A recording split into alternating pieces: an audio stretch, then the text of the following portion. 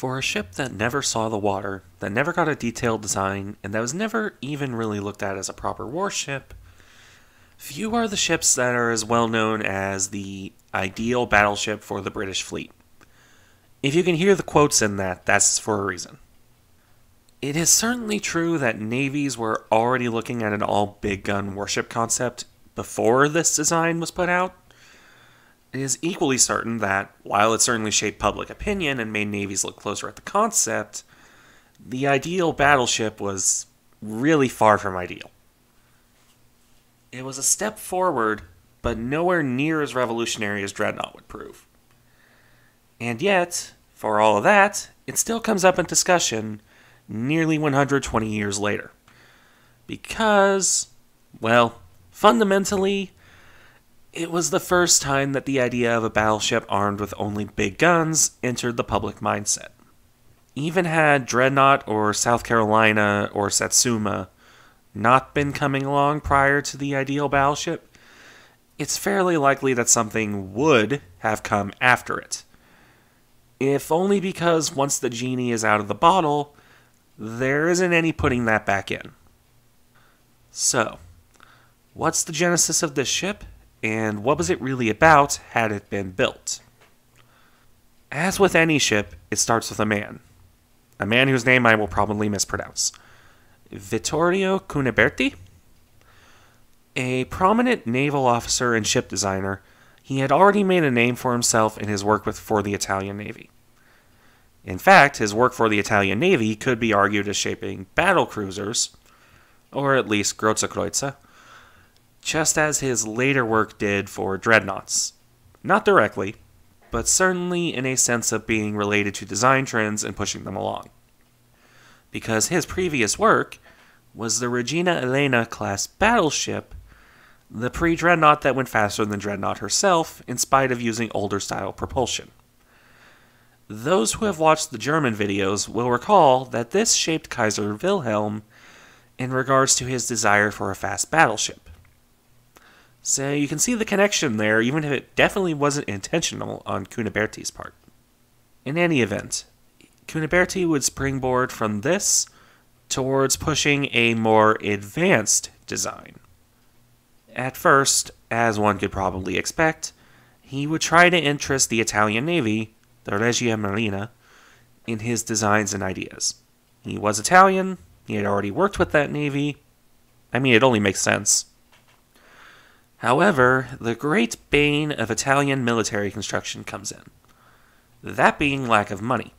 And not in the sense of Congress won't give us money, but just plain Italy did not have the money. That's a recurring theme with them. Because as much as Italy wants to be a great power, they just did not have money or resources. To his credit, though, Cuniberti did actually realize this.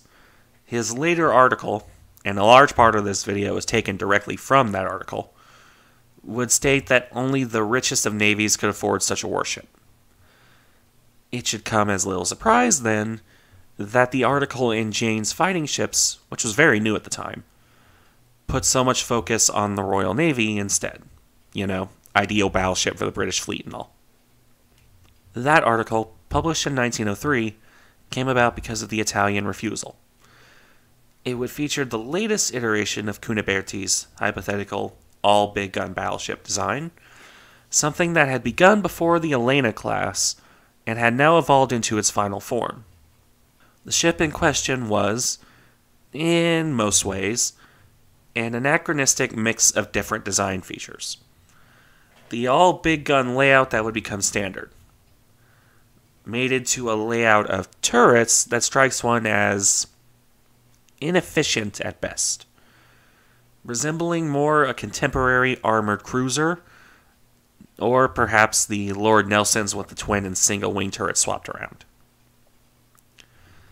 Though, for 1903, this isn't quite as obsolescent as it may seem, ignoring for a moment that the various dreadnoughts would soon have a better layout. Or that, much as Dreadnought herself, the ship would have no notable secondary battery save for some light anti torpedo boat guns. Regardless, Cuniberti was on the right track. His ship was designed, or at least the article laid out a design, with 12 12 inch guns. He insisted on the ship being faster than any existing battleship.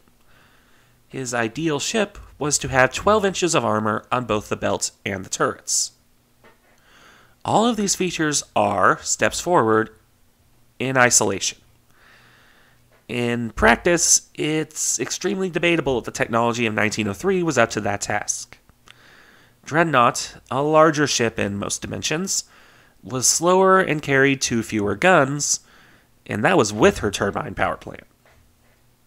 Cuniberti, and again this is direct from the article, was putting forward a concept for 12 12 inch guns, 12 12 pounder guns, a 12 inch belt that stretched the entire length of the ship, there's no lowering thickness here, and a speed of at least 24 knots.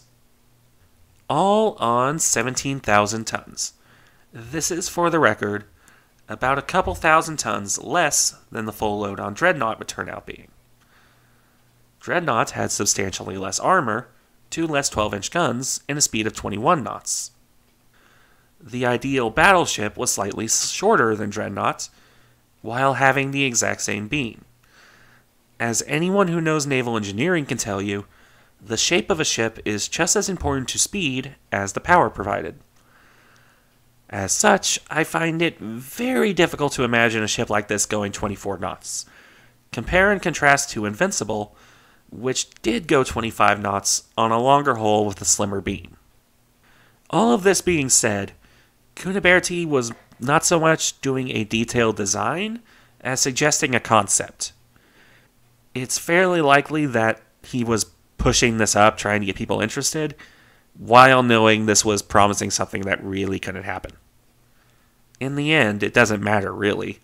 Cuniberti's ideal battleship, his invincible Colossus, quoting the man again, would never be built. Considering the promises placed on it, this was likely a good thing.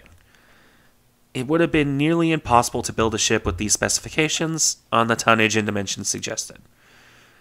And as Dreadnought did everything this ship could do anyway, near enough, on a more logical layout, it can be said that navies dodged a bullet in focusing on their own designs.